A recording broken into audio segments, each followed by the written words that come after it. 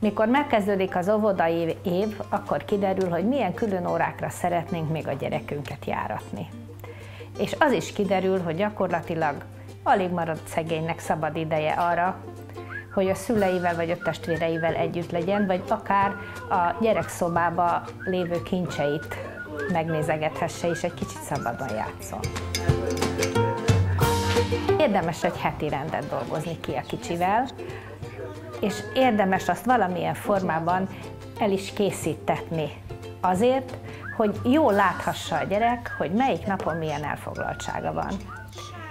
Ha ez így elkészül, akkor nem kiszolgáltatott az időben, pontosan tudja, hogy hogyan következnek egymás után a napok, és hogy mikor következik el az az örömteli pillanat akár, amikor ő és a szülei, édesanyja vagy édesapa vele együtt játszik. Ez azért fontos, mert az időérzék kialakulását, az események időbeni egymás után követését a gyerek akkor tanulja meg, ha számítunk ebben az együttműködésére.